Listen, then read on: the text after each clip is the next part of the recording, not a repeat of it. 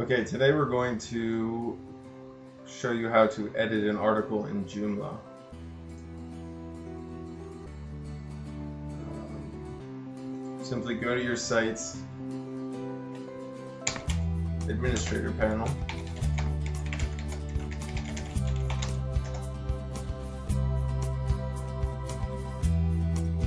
Log in.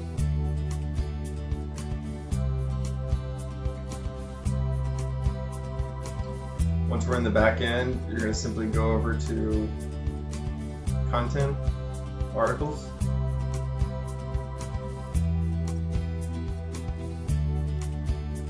And here we can see all the articles within our website.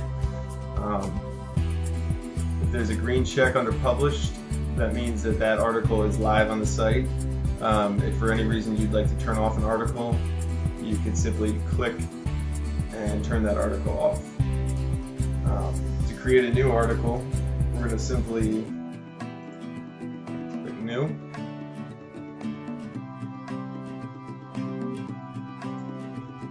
Title it.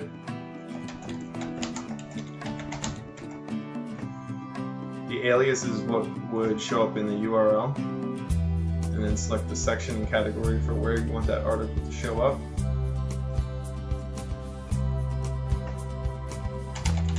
Enter your content here.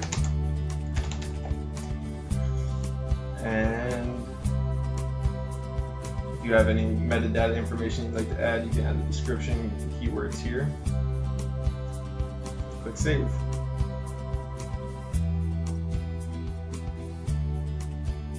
Good luck, here's my test article, and it's published. This option is to publish it to the front page if you're using a front page blog um, component. Otherwise, you're good to go. That is editing an article in Joomla.